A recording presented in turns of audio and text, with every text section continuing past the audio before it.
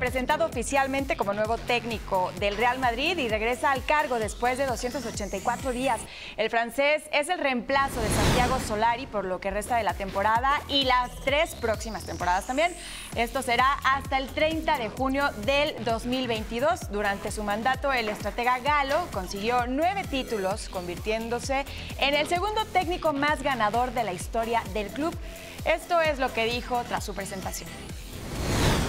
Para todos y, estoy muy feliz. Lo más importante es eso. Yo creo que como decía el presi, estoy muy feliz de, de, de volver a casa. Je, je, vais être clair en fait. Quand je suis parti, c'était le moment de partir pour moi. Après deux ans et demi, ça fait neuf mois que je suis au repos et j'ai envie de reprendre. Ouais. Parce que j'ai eu des propositions pour reprendre.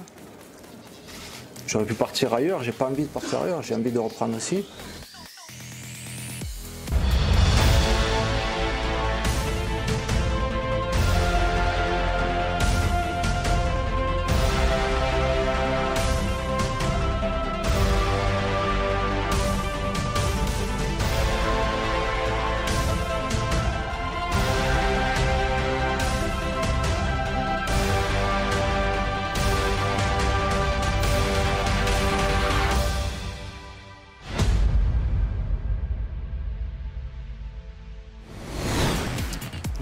18 días después, Zidane está de regreso en el Real Madrid. Nadie se lo esperaba. Christopher nos sorprendió a todos la noticia hoy en la mañana. Eh, pero bueno, está de regreso. Prácticamente le rogaron para que regresara a salvar un Real Madrid que está en una crisis muy profunda. ¿Lo logrará? Buenas noches. ¿Cómo estás, Gabo? Me da mucho gusto saludarles, amigos de Exceso Televisión. Es una muy buena pregunta. La pregunta del día hoy en Adrenalina es esa. ¿Por qué Zidane tendrá la capacidad de revertir esta crisis, de, crisis del madridismo? Eh, ¿Por qué no? ¿Por qué no? Tiene todas las credenciales, tiene conocimiento de causa y hay que recordar que Zinedine Zidane, cuando se incorpora como entrenador en el Real Madrid, pues eh, sustituyó a un hombre como Rafa Benítez que venía de dejar en el Madrid eh, mucha suciedad en el vestidor y muy poco fútbol en el terreno de juego. Zinedine Zidane conocía el madridismo, sabe o sabía en su momento lo que necesitaba fuera de la cancha y dentro de la cancha y terminó con esos nueve títulos que quedarán para la historia y que para mí difícilmente se replicarán en la persona de otro entrenador. Zinedine Zidane además tiene el conocimiento de causa no solamente de la esencia del madridismo, sino ¿A qué puede jugar el Real Madrid con los elementos que se tiene? Yo nunca me enteré a qué jugaba Madrid, por ejemplo, con Solari. Jamás supe qué es lo que pretendía Solari o qué es lo que pretendía este equipo en lo futbolístico. Puede regresar Zinedine Zidane eh, a su 4-3-1-2 eh, típico, formal en sus entrenamientos, formal en la cancha, tanto en Copa, Champions y por supuesto en el tema de liga. Pero lo más importante, recuperar a jugadores muy puntuales, Gabo, que me parece son o fueron fundamentales en esta etapa que tuvo primeriza el señor Zinedine Zidane. Vámonos en orden, ¿no? En cuanto a posiciones. Keylor Navas tiene que ser titular indiscutible en el Madrid. Tiene que ser el titular en la portería del Madrid. Fue pieza clave en esos tres títulos de Champions consecutivos que consiguió el equipo merengue. a la banca?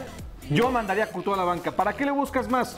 Hay, porteros que tienen que tener una posición, que tienen que tener un objetivo y que tienen que tener una tarea. La de Keylor Navas es la titularidad indiscutible. ¿Y la de Courtois también? no, bueno, por supuesto. Sí, pero no la manoseas tanto. Y menos cuando, eh, cuando Keylor Navas, insisto, significó demasiado en la etapa de Zinedine Zidane. Marcelo, Marcelo lo tiene que poner en cintura, cierto. Zinedine Zidane es un hombre con todas las credenciales para llegar a decirle a Marcelo, oye, o juegas o juegas con o si tu compadre, el señor Cristiano Ronaldo, que ya es historia y que está en otro equipo, tiene 30 años de edad, Marcelo, y tiene que estar ¿será por capaz, banda de la izquierda. ¿Será capacidad de convencerlo de que se quede en Real Madrid? Porque se dice también que ya tiene un arreglo con la Juventus. No solamente de convencer a un hombre como Marcelo. ¿Qué me dices de Isco? Isco, por supuesto, también está mirando otro panorama, está mirando quizás otros horizontes.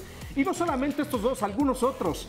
Pero con la incorporación de Sidán, las cosas pueden cambiar de manera notable. Nada contra Reguilón, por cierto, el lateral por izquierda del equipo del Madrid es un cuate que representa y en un futuro puede significar algo importante, pero a los 30 años de edad no puedes desperdiciar a un tipo como Marcelo. Recuperar a Isco, por supuesto, ya no está Cristiano Ronaldo. ¿Para qué tanto Cristiano Ronaldo? Es cierto, fue pieza clave también en el proceso Zinedine Zidane.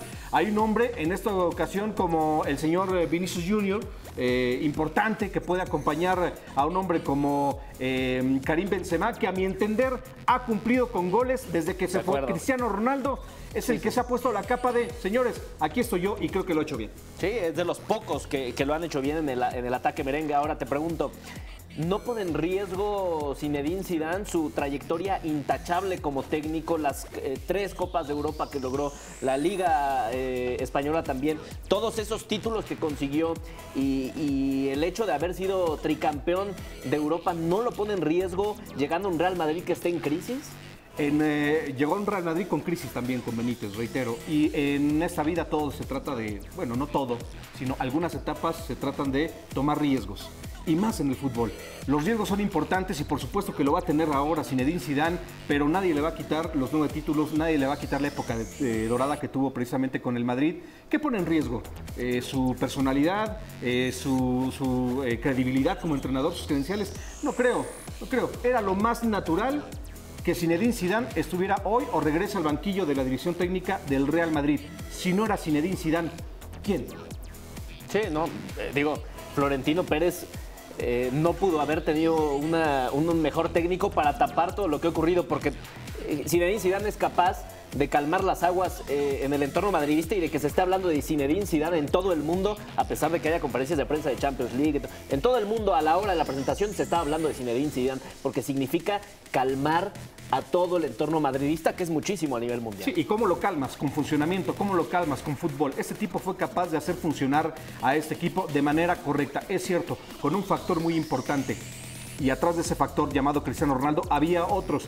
Ya no está Cristiano Ronaldo, pero no se espante si usted te va al Madrid. No se espante porque me parece que este equipo todavía tiene mucho talento y seguramente Zinedine Zidane con todo ese conocimiento de causa que tiene del entorno merengue en el próximo mercado europeo no se van a guardar las manos en el bolsillo dirigentes, Zinedine Zidane y compañía. Van a hacer de este Real Madrid, yo se los garantizo, un equipo fortísimo, un equipo con nombres nuevos, relevantes y que van a encajar, no sé si a la perfección, pero primariamente de manera correcta. Mbappé, Mbappé puede ser, Eden Hazard puede ser. Vamos a ver. Mbappé porque es francés y Bale fuera, ¿no?